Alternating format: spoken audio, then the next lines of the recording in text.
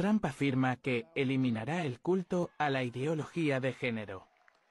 We're going to defeat the cult of gender ideology and reaffirm that God created two genders called men and women. We're not going to allow men to play in women's sports.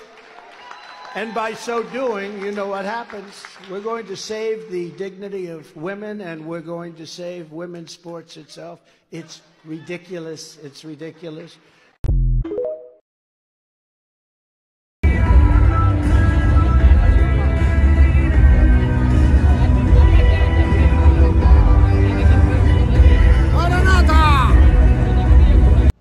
Ba ba ba ba ba ba ba ba.